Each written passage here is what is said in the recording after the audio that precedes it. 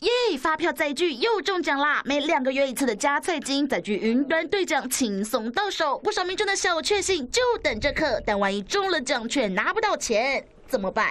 有民众就收到这财政部邮件，吓到爆，表示载具鬼虎错误，中奖发票无法核验，没法汇款，得更新资料。点进去要求输入信用卡，这才惊觉，哎，不对呀，载具哪有绑卡？原来这根本是诈骗，只是真假信件比一比，根本像到爆。两封标题都是斗大财政部整合服务平台，只是仔细看钓鱼邮件，不但出现简体字，还使用信息等大陆用语。若没察觉到这些小细节，没关系，只要切记这一个关键。秒戳破诈骗网站，政府机关的官方网址呢？尾端是点 gov 点 tw 结尾，任何直接在 gov 前直接冠上的英文字或数字都是不正确的，千万别中奖不成先中招。但除了载具有诈，竟连收个包裹也差点出事吗？有民众人不在家，收到邮差贴上包裹领取通知单，上头还附上邮务专员的手机号码，哇，就甘心哎！老人家的话，应该就是看了就直接打电话过去，觉得贴心，大去妙居居。一回拨，恐怕立刻被盗取各自，惨遭诈骗。仔细看，虽然这假配送单披上邮局 logo，真的像到爆，但真的招领单从一般邮件挂号信到包裹单都不会出现手机号码。看到手机，这绝对是诈骗，别理会，牢记关键一招，不再傻傻中招。记者李奇英、叶振宇、黄玉兰台北高雄采访报道。